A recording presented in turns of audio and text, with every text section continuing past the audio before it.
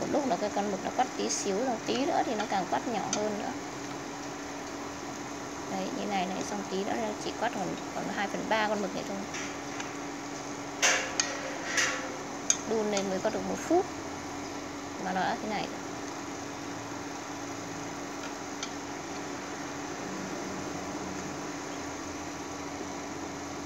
đây, con mực này, bé tí lại luôn tí nữa cũng còn 2 phần ba khi mà nó nguội nguội đi.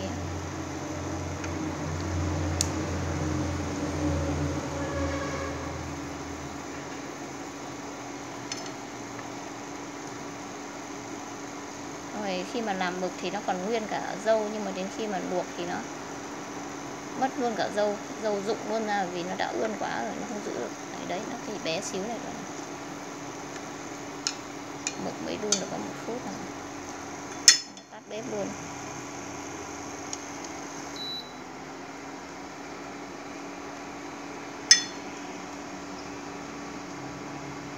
Rồi vớt ra nguội để cho nó mát.